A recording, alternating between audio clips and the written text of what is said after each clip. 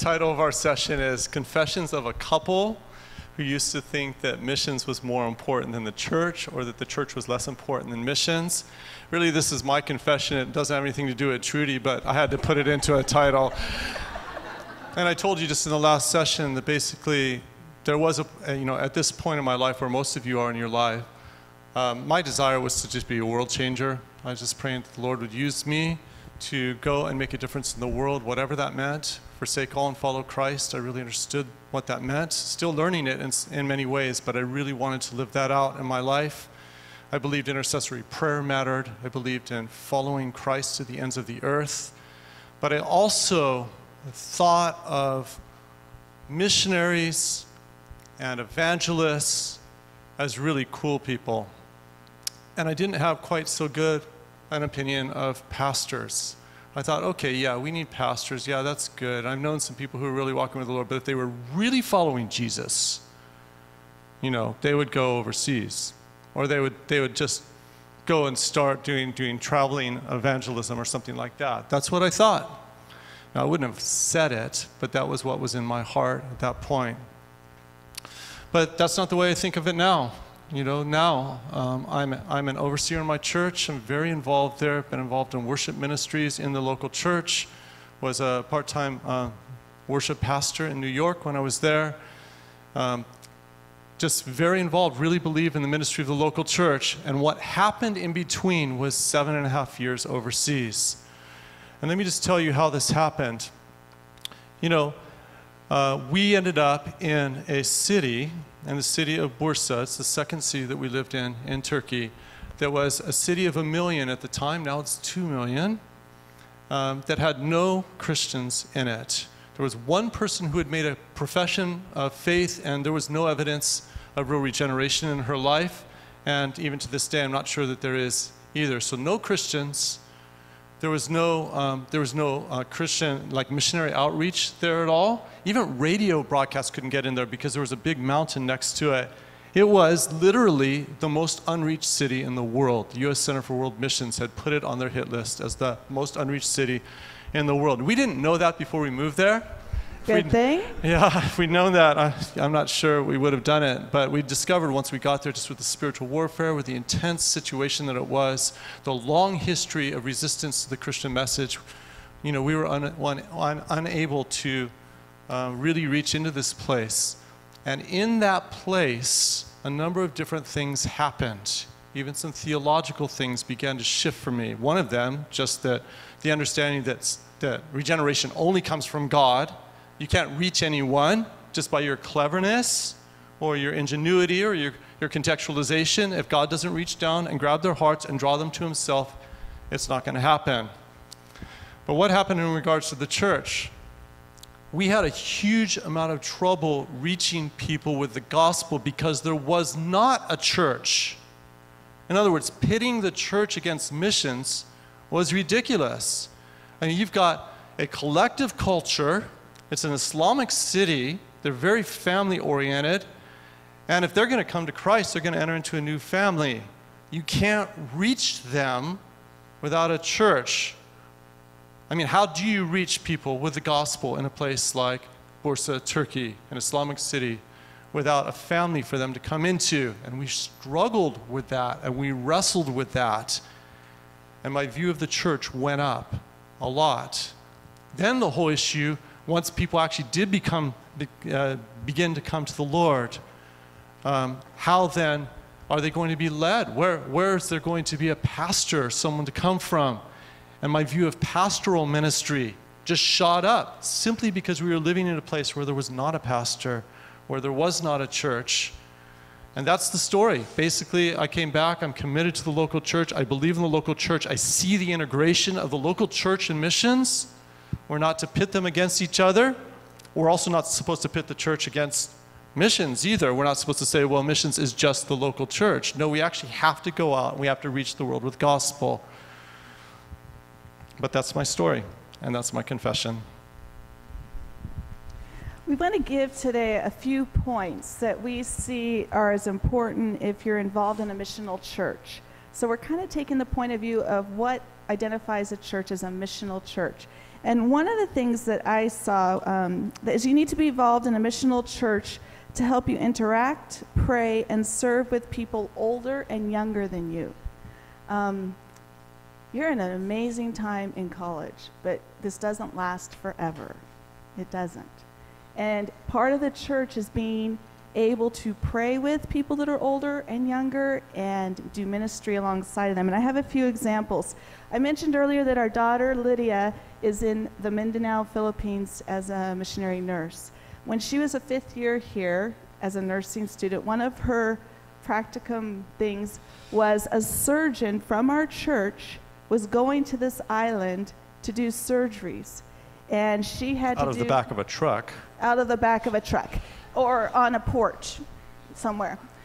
And he said, Lydia, if you go with me, we'll get a nurse to go as your supervisor and you will get to do this. Well, Lydia had had dreams of doing this kind of thing. So this surgeon and this nurse went along with her, both people from our church, both older than her. The surgeon is quite a bit older. It opened her eyes to a ministry that she's now serving at. Um, she's there for a year, and she will probably, um, she's applying to go longer term to do this ministry. But it was an older man that said, Come along, I'll take you, let's go.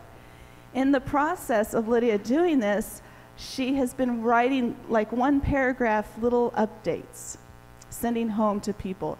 There, in our church, this ministry um, of where she's at, many older people, all ages, have really been praying for this. Almost a week doesn't go by where I don't go to church and someone says, I read Lydia's update, I'm praying for her. And in fact, um, there's a couple here, and actually they're here today, Bob Ladd and his lovely wife. And they, he called me last Saturday morning at 9 in the morning. I read Lydia's update, I'm praying for her. And I'm like, oh, thank you. And it just brought such encouragement to my heart because this is a multi generational thing. And that's what you need to be a part in a missional church. Another part, one that was very um, cool last summer, our daughter Grace got to go to India. Um, she went on a missions trip with two grandpas, a high school girl from the ministry that she's involved in in our church, and her father.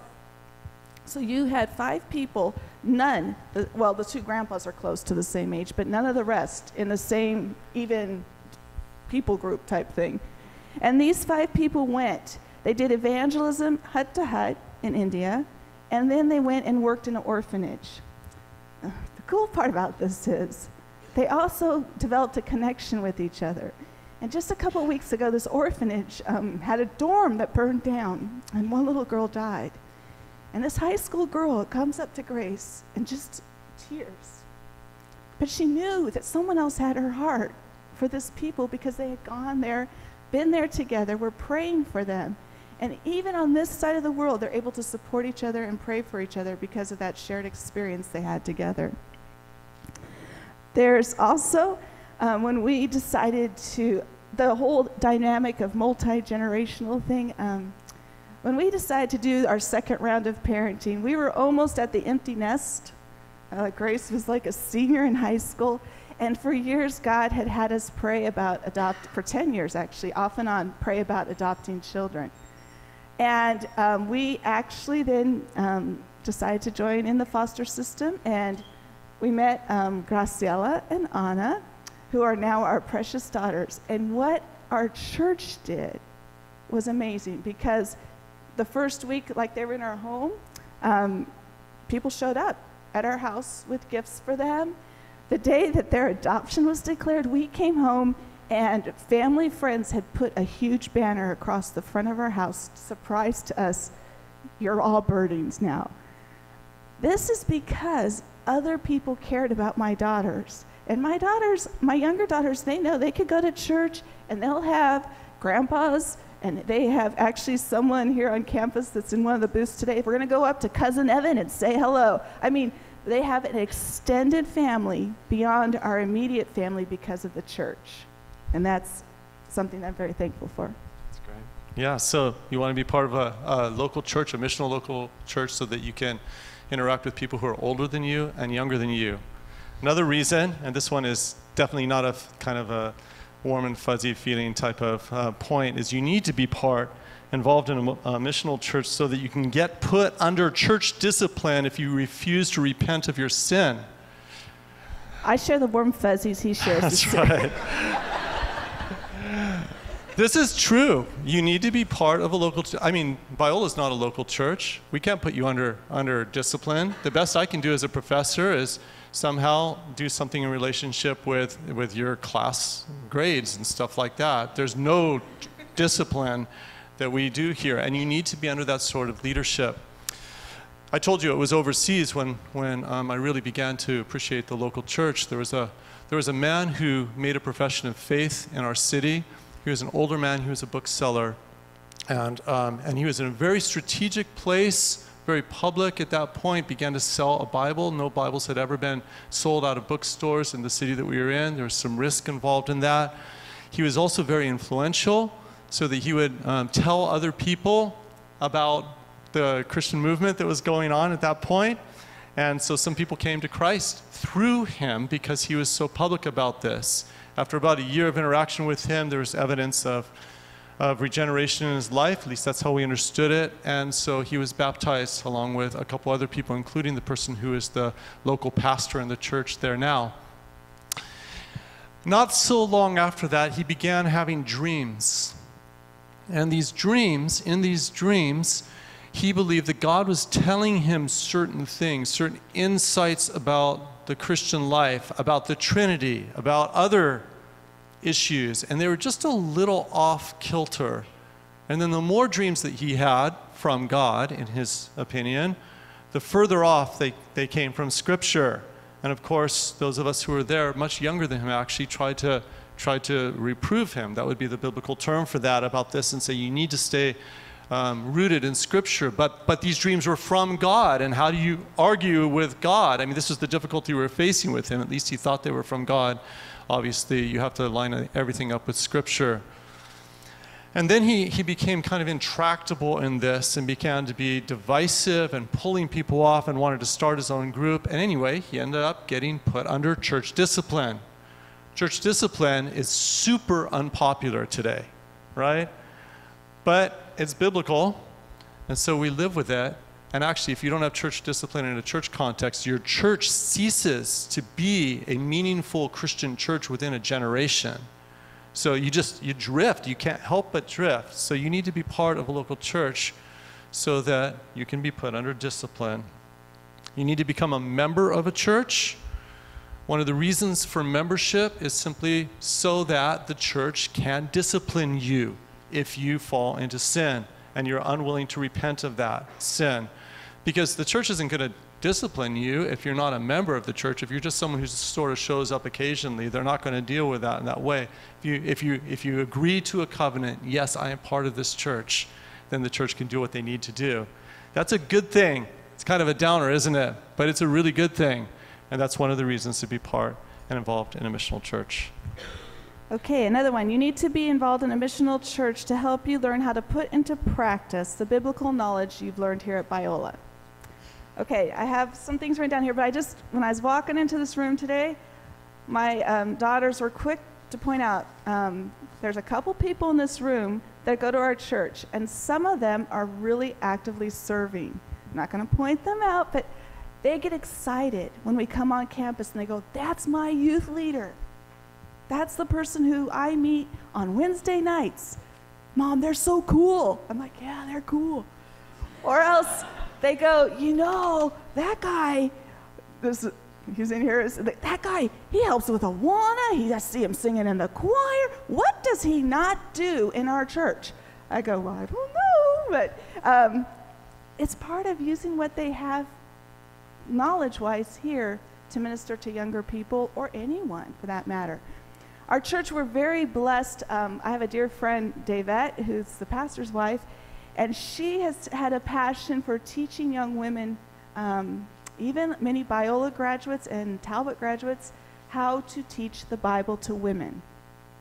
And many young ladies and some older ones have gone through this diligent to teach course, and it has made our women's ministry at our church and our Bible study ministry amazing. Um, a number of these women, I'm thinking of the ones particularly who've graduated from here, already having a minor in Bible. A few graduating from Talbot had never had the opportunity to actually stand up and teach or have to teach in front of a group of ladies. 40 women out there, what are you going to say? Going through biblical passages. And our church has actively taught women how to prepare a Bible message for teaching women the Bible. And it's been so exciting. It's really great.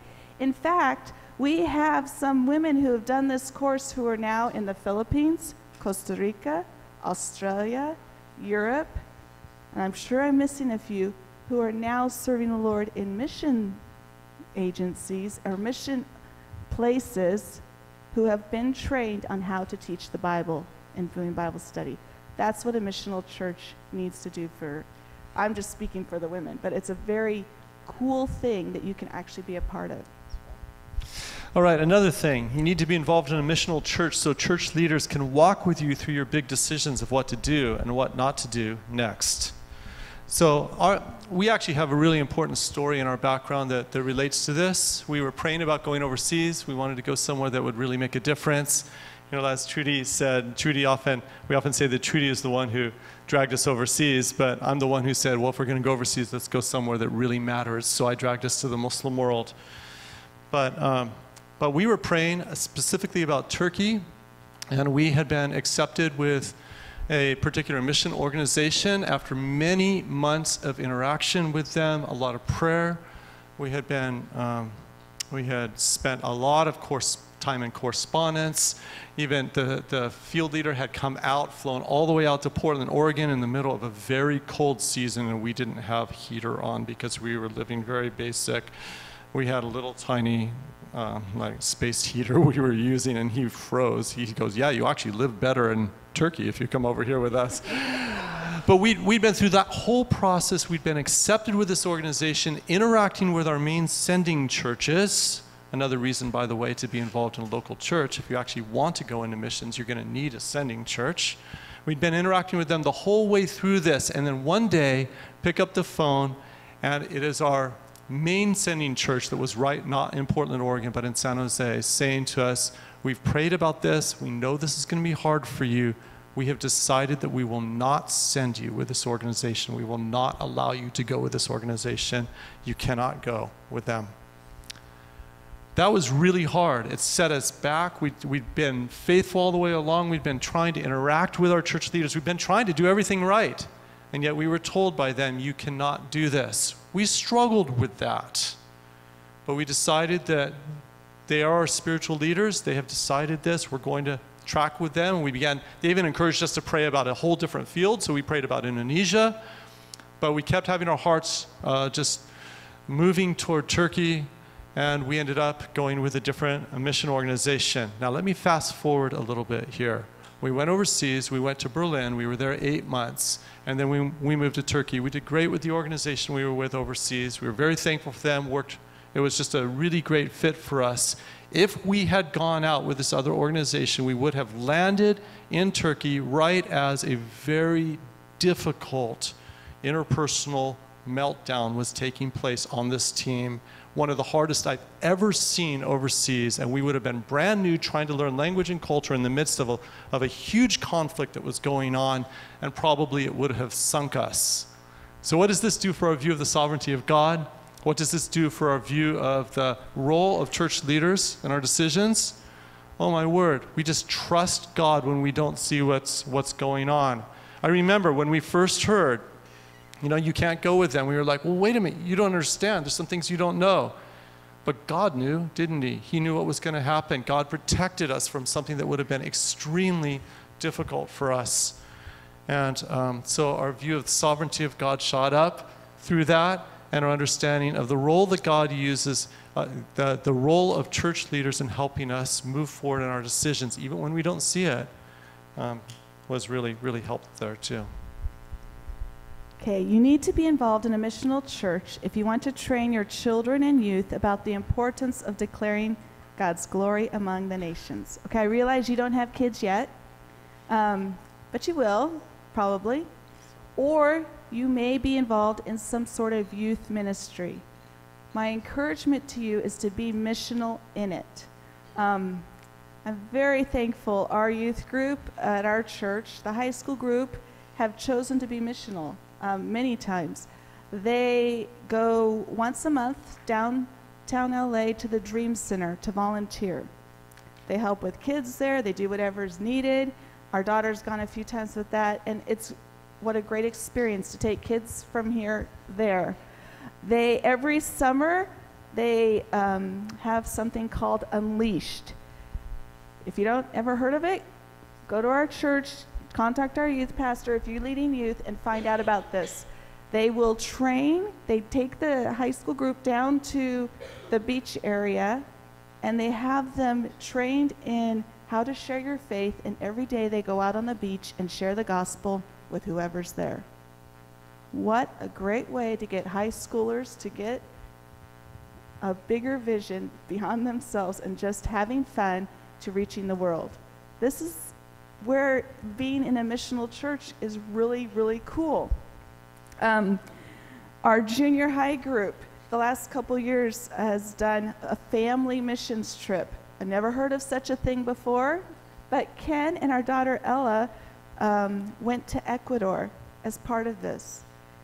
They were serving food in a food kitchen, painting a church, reaching out to an area where there are kids and families living in the dumps. And here you have these kids from California suburbs serving other children. My daughter now is like, okay, when do I get to go back to Ecuador? When do I get to go to Ecuador again? It's put it in her heart and is giving her a heart for the world beyond just our world here. These are all important when you're thinking about um, being missional. Youth group is a great place to have fun, great place to grow spiritually for kids, but they need to also be affecting the world and have a more of a mission outreach. Another one, you need to be involved in a missional church if you really care about reaching people with the gospel.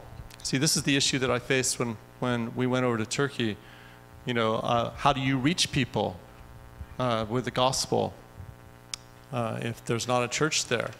Now, we often think in terms of personal evangelism just being me and my friend, and if that friend makes a profession of faith, then I'll disciple that, that friend. But do you really think that, you know, you have everything that is needed for the discipleship, for the mentoring, for the training of that person just in and of yourself?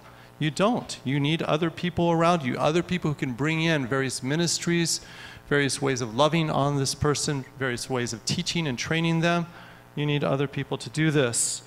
I mean, think how hard it was for my friend, uh, my friend Ismail, who is the pastor of the local church in the city that we were living there. When, when I first met him, he was living in a city called Gönen, or a town called Gönen. And um, so far away, there was not a believer within two and a half hours bus ride of him. He was a, he was a chain smoking, kind of depressive, looking down, had, had hung out in leftist world for a long time and didn't, didn't know Christ at all, but eventually he gave his life to Christ. And when he gave his life to Christ, it was a, a true commitment, truly born again. And he was, he was living two and a half hours, as I said, from, from the closest church, which was just a struggling missional church, the one that we were involved in. So he would, he would come out once a month. He'd make the journey all the way out, and sometimes even more than once a month, spend the night with us, um, hang out, do the best, and go back and try to live for Christ, sharing the gospel alone, two and a half hours away from the next believer there.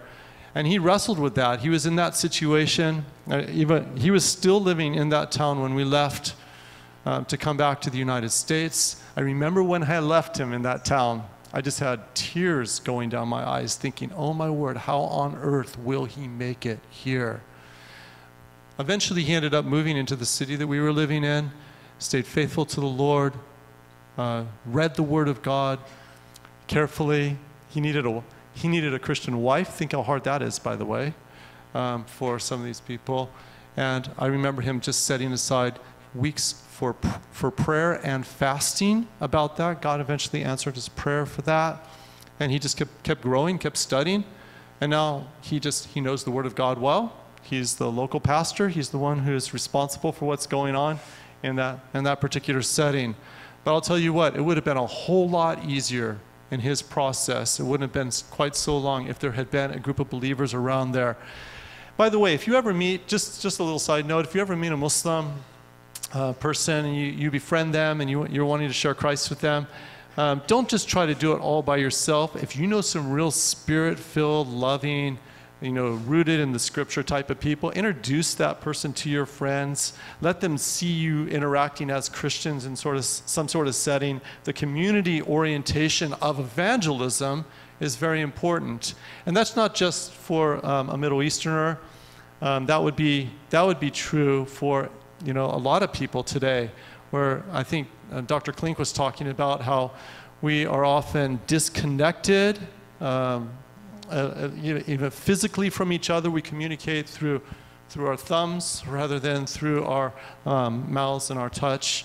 And, um, and people are just, they're just crying out for Christian community. You want to reach the world with the gospel? Be part of a local church. And I don't just mean any local church. I mean, there are some local churches, they don't even have the gospel um, in them. they have gone so liberal, they, they don't even believe the gospel. There are heretical churches out there. Don't, don't bother with any of those, okay? There are also some other churches where the gospel is preached, they love the, they love the Lord, but they're not really impacting their society very much, the world around them. If you're choosing a church, that would not be the church to probably choose to go to. Um, but if you're already in a church like that, you know, it's brothers and sisters in Christ, try to help them become missional. That'd be good. And then there are a few churches around that are preaching the gospel and also they're reaching out um, in their society. And that's, that's the type of place you want to be because you can reach people with the gospel through a community of believers. You need to be involved in a missional church for your own sanctification. You're not living in isolation. You, it's not all about adventure. Recently, just this, actually, yesterday, I was on a, a online um, web page thing reading about some people that were living overseas, and this one person's comment kept coming up I'm, I love adventure, I love adventure, I love adventure. I'm like, dude, you need to be about Jesus. And his whole goal in living overseas as a missionary was about adventure. And that's, that's not what it's about. It'll get really old very quickly. Um, if you cannot reach or get along or be a part of a group of believers in your own culture speaking your language and basically somewhat like you, meaning here, I don't know how you're going to do it in a cross cultural setting. God has put the church here for you to become more what He wants you to be, to sanctify you, and then you could also go out. But I'd rather you go out and say, I want to be a risk taker for the kingdom of God than for the sake of adventure. All right, so there's just a few thoughts to help you. We've got um, some time for questions. We've got a mic right here in the middle. This room is small enough that if you can't make your way there and there's not someone waiting there, wait. I'm just giving too many too many ideas here. There is a mic right here. If you want to ask a question, why don't you make your way over here? If there's a little line, we can line up right there. We'd be happy to talk about any of the things we've been talking about here, to share some more with you about about these things, but do you have any questions about anything that we've talked about here? It's usually hard to be the first person. If any of, and if any of the other, others of you want to ask a question, just go ahead and get up even while she's asking and just come over into the center. Um, I know you guys mentioned that you went to the mission field pretty quickly after being married. What was that experience like for you, and would you recommend that to people going overseas as missionaries, being newlyweds, or is that something you wouldn't recommend doing? We we are a little we're odd. Um, we we were married only a, like a year and a half when we went overseas, but we knew each other since we were 14. So we had like a long, but we hadn't dated till like 20. But we had done a lot of ministry together, so we're kind of odd. We're not your normal uh, like date, get married, and go overseas people. Um, let me tell you this one thing we do encourage people don't think you have to be super old to go. Um, part of the problem happens when people do go single, go single, great, or get married, they keep waiting. Oh, we'll wait till we have that first kid. Because, you know, we can't have the first kid in a foreign country because that would just be terrible. Well, after the first kid comes, then you're like, oh, well, now we have a first kid. What are we going to do now? Then the second kid comes. By the time you have five kids, no one's going to support you to go overseas. So, I, I, I, we kind of like our go and, and, and don't hold on forever, but you do need to have a, a strong enough marriage. I know a lot of organizations will make you be married at least a year before you can go. So that, that is a case where they will make that. Um, and you do need to have a strong marriage because it, it is stressful. Yeah. But generally, we encourage people to go um, when, they're, when they're younger. Otherwise, they don't make it overseas. By the way, there is a blog post I put up on the Good Book blog a few years ago called Do You Want to Be a Missionary? A Checklist. You can actually run through that and take a look at some of the things that we think need to be at least on the way um, developing in your life if you want to go overseas. Hey, Berdings. Um, for someone who really thinks that they want to get involved in missions, um, but kind of wants to get their foot in the door, try it out, see if they're cut out for it, um, what, you'd, what would you recommend them doing? Yeah, well, first thing is you should be dialoguing right away with your local, you know, anyone in your local church who actually is part of the whole mission process. If you're not, if you don't have anyone like that in your church, then you're going to have to find someone else to talk with. So you need some mentoring probably in this whole thing. But um, I would encourage you to start thinking in terms of some short-term mission, and I don't, and I don't necessarily just mean like a two-week thing. When I mean short term, more like what our daughter Lydia is doing right now. She made a commitment for one year with an openness to long term. Um, and it's probably going to turn into long term for her, but something like that might be good. The, the difficulty in the whole thing is that you know every mission setting is different. So you could go into one, it could be it could be very difficult, it could be really not a good fit for you, and others would be um, a good fit. Um, but I would encourage you just to just to start um, spending time with anyone in your church who is who has history and missions, can help be uh, leading you um, out to where you're going potentially, and then do some, something in a short-term way. I think you also need to. Um, one thing we often encourage people to do early is start developing an email list of people that you know care about you and pray for you and start slowly putting out this is what I'm praying about. Don't make them really long, but just little notes to say, This is what I'm praying about. Could you pray about for me? And because when you get to the point of, Oh, I want to go overseas, then you're going to have to find people who will pray for you and support you. And so it's easier to start earlier, developing a group of people who are like following you in your progression of growth toward that. You don't even have to have, you don't have to be an overseas missionary to have a group of people praying for you. I have 120 people who don't live in Southern California who I send out updates every once in a while who pray for our family. So you can do that wherever you are. Um, two things. Is that okay? Okay. We'll see. Okay. Uh, first one is uh, what would you recommend to people who are heavily involved in a church, love serving, uh, but the church is not okay with doing church discipline? What do you recommend that those people do?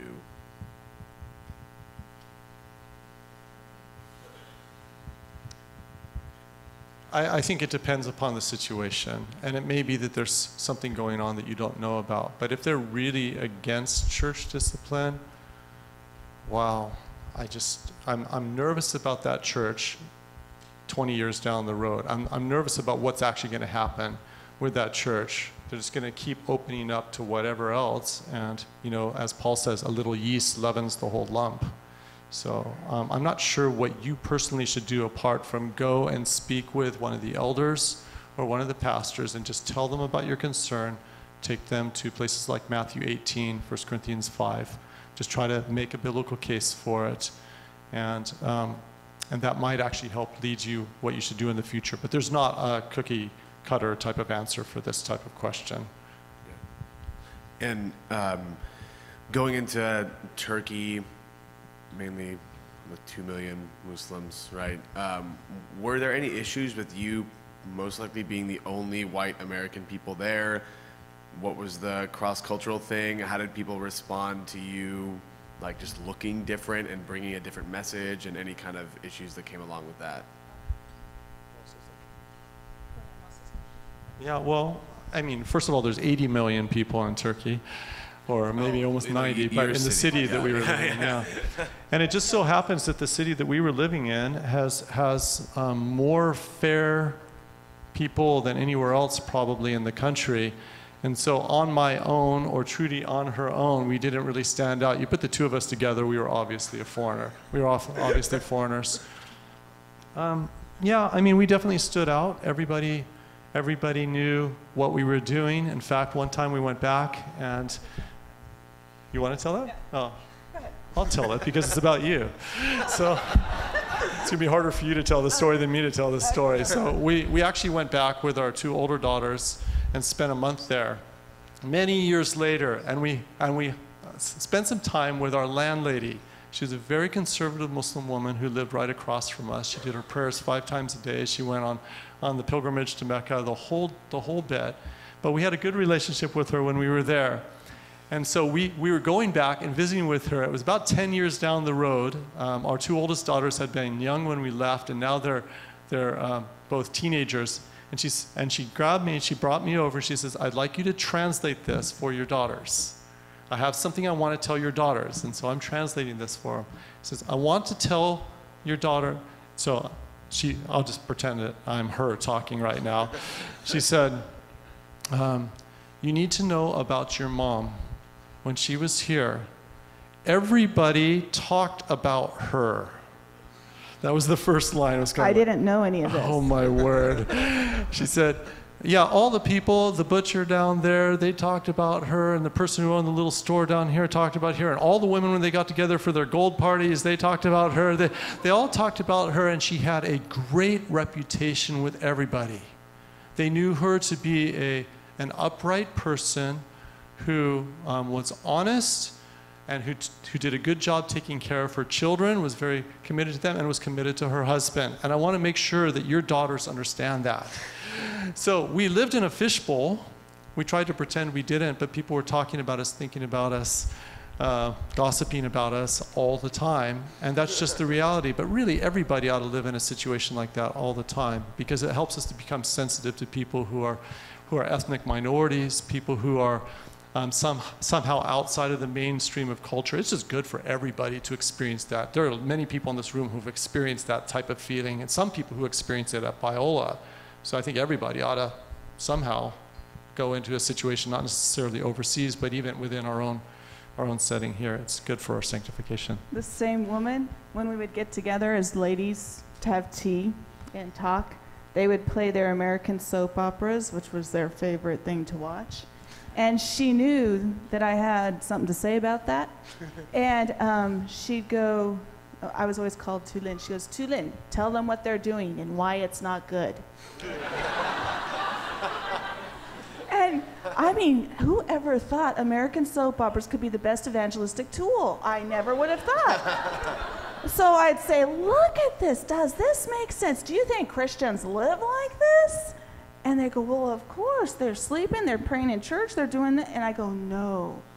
This is what, look at, I don't do that. And I would be able to share the gospel because this conservative woman was concerned about the next generation becoming too Western. And here I was as a Western, God fearing woman. She goes, Tulin reads her Bible. Tulin prays. You know that. And I'm like, okay, I guess I get to talk about Jesus again, you know? So God can use anything, even soap operas, to make his word go out. And a conservative Muslim woman letting me to share in her house. By the way, can I explode a stereotype for you? A lot of times people think that it's, you know, Muslim ministry is just really, really hard. Okay, let's grant that there are not still a lot of people from Muslim background who are coming to Christ, though in some places, you know, there, there is. You think of Indonesia, Iran, even I've just gotten some news out of Algeria recently. There are some good places there. But you know what? If you have trouble sharing your faith with people, you know, you're just uncomfortable about starting a conversation about Christ, Go to the Middle East. They talk about religion all the time. You can have all the conversations you want. In some ways, it's easier. Yeah.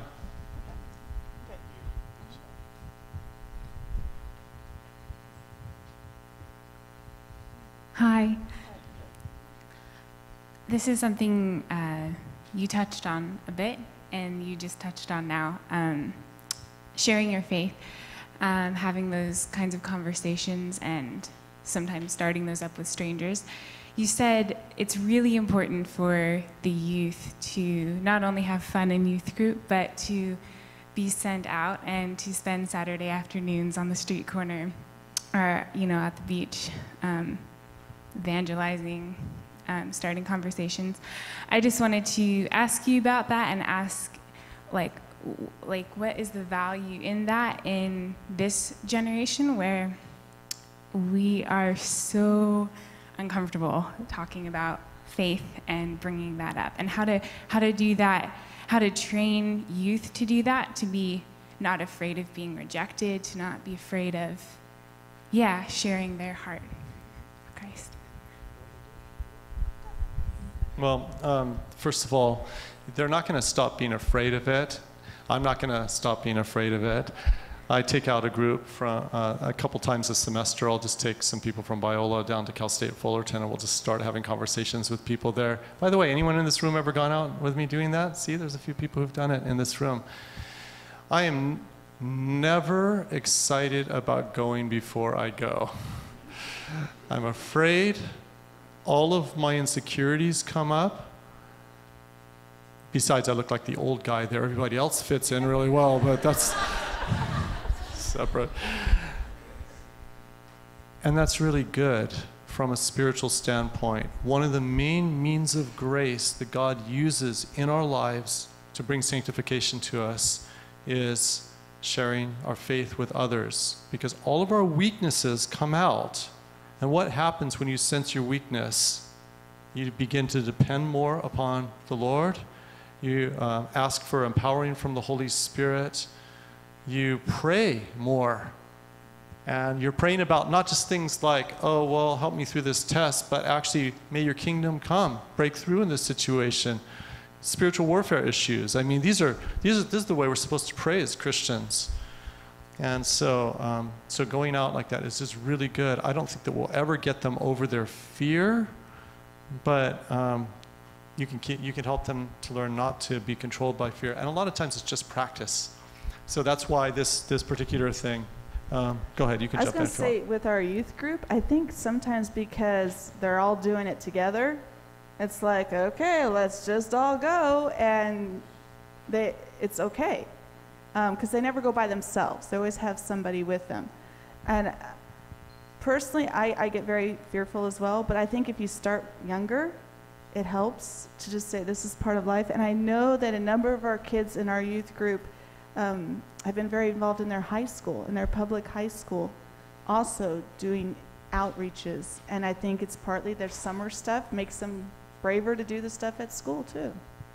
So it's, it's not easy, but it could become uh, like a dynamic or a part of this is what we do. And when it's this is what we do, this is what we do, and let's go do it. So. Hello. Um, going through this conference, um, having all this um, thought about missions, uh, which is something I love, having that at the forefront of my mind, and all this talk about the local church has really been um, pushing this question of what is the purpose of the short-term mission trip on my mind. Um, a couple months back, uh, looking at a poster at Biola, it was sending out a mission trip from here, LA, to New York to go help the homeless. And my question was, why isn't the local church in New York helping the homeless?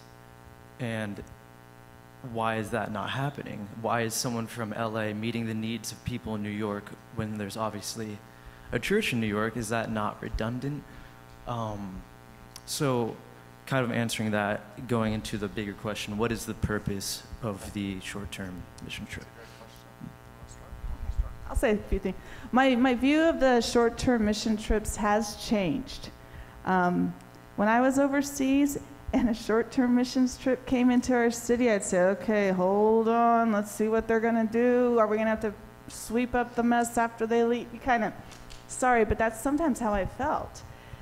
But um, we had one short term missions trip come through our city, and they ministered to us, and they were so outreach orientated, and they prayed. And I go, if nothing else, a city that has hardly anyone praying for it has been prayed for very thoroughly this week. And I'm like, okay, God, bring him, let him come, and we will just deal with the aftermath of what happens.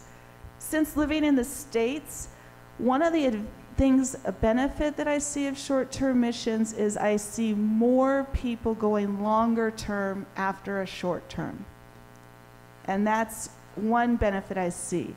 I think we have to be strategic in how we do our short term missions because they get expensive. They get very expensive. So we need to be careful how you do it, and I would probably more be encouraging to do with a church doing it because then your church is invested in it. Your church is like praying for you and not. I know that there's some great missions trips to Biola, but um, who's who's who's praying for you? Who's who's helping you? Who's going to afterwards ask you to tell them what happened? And if you decide to go back, who's going to be supporting you? Yeah, and let me just add to that. One of the key reasons why um, short-term missions are often um, pressed, even in the local church, is that people, if they if they're sent out on a particular mission somewhere, working in community, um, sharing the gospel somewhere, sensing their weakness, depending upon uh, the Holy Spirit to, to help guide them. Oftentimes, there's a revival that takes place in their own heart. They bring that back into the local church. There's a greater understanding of world missions. There's a love for that. And um, so the church then becomes more missional. So actually, it has, it has a lot to do with what happens in the individuals and in the church community. It reflects back upon that. And so it's got a lot of value from the perspective of church leaders because then they're not just thinking about their own little world that they're living in, they're actually caring about the world that God loves so much. So I think actually the greatest benefit actually takes place in the individual who goes and in the church body as well. But if you can be strategic about where you go, there are certain types of ministries where you can really be help. You can really help them. We've got a, we run people through um, a ministry. That's just the wrong way to put it. We run people through. We send people out to uh, a ministry in India where, um, yeah, actually Trudi alluded to it. Both of both of our older daughters have been on this ministry. This is way out there. You go out, you do hut to hut evangelism among polytheists. And you, you walk in, and there's spiritual warfare going on. And the reason why we go on that is not, I mean, obviously, it's for the sake of our people who are going there because it's so far out there and it really helps them to trust in the Lord. But the local evangelists want to plant churches in these places, and they can't get anyone to open the doors for them. But bringing along someone from the United States opens up the doors, kind of doing it in a translation setting, working in tandem with each other, opens up the doors, and they've planted multiple churches as a result of this. So there are situations where you can work along with them. Be very sensitive always if you're setting up a trip to make sure that you're really being a help to the people that you're going to. Okay, we'll just take maybe two more questions and we'll be done then. You've touched a little bit on church discipline, um, and that's kind of a new term for me and uh, maybe for some of the people here. So, if you could just kind of define biblically what that is and what that would look like in a church setting. Great. Okay, I'll take that one. Church discipline is basically saying, Trudi's happy about that. Church discipline is, is basically saying, uh, what happens if a person who is a member of the church wants to do something that is clearly against the scriptures, but they still want to be a part of the community. So they still want to be. So they want to be able to, you know, live with their girlfriend or boyfriend and sleep with them, but they also want to be part of the community where they're praying with them and reading the Bible together and taking communion and all that sort of stuff. In that sort of situation, Paul says in 1 Corinthians 5 that a little yeast leavens the whole lump, which means their negative influence will so negatively influence the church that you need to do something about it. So you should only do it in the case of, of um, something that actually has a chance of affecting the church as a whole. Not every single sin rises to that level. There's lots of sins that, that don't need to be disciplined in that way. But if somebody is doing something that is, you know, out there, public, um, and it's got a chance of affecting the church, then the church needs to First of all, not that the church doesn't need to do it, the person who knows about this needs to go and, and plead with the person, spend some time trying to, trying to ring, bring them back. After that, maybe a couple people, usually a church leader somewhere in the middle stage. Um, and then if they just won't respond, then you just tell them that they, they can't be part of the church community until they repent of their sins. So that's basically the process of church discipline. The go to passages in the Bible are Matthew 18, and 1 Corinthians 5. And there are some other passages as well, but those are the key ones. Um, you mentioned um, that your daughter went to Biola, and so I guess my question is for some of the students here who might still be looking for a church or maybe aren't totally connected, um, do you know of any churches that you consider to be missional that are around this area? Our church. No. I was going to say we won't do that. Actually, I love our church. There is, um, there is actually a list of churches. I, I don't think I want to call out churches here. I'd rather not. But, um, but there is a list of church. Uh, SMU actually uh, keeps a, a, list of churches around here. I'm pretty sure. Thank you. I was going to say someone here's got to be able to help us. So online where?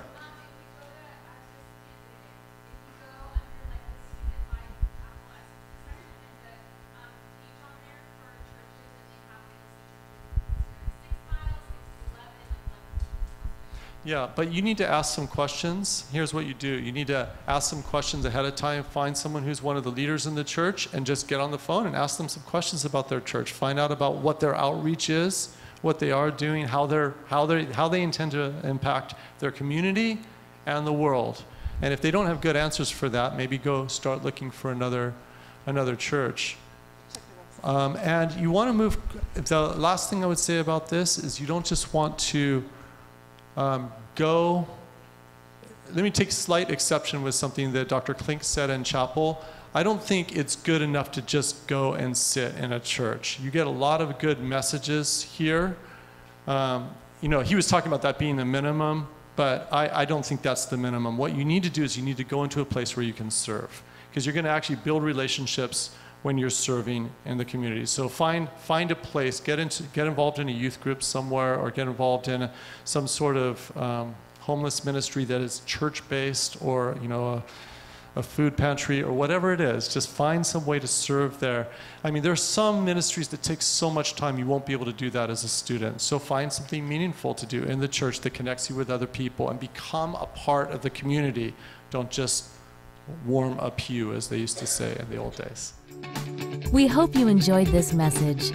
Biola University offers a variety of biblically centered degree programs, ranging from business to ministry to the arts and sciences. Learn more at biola.edu.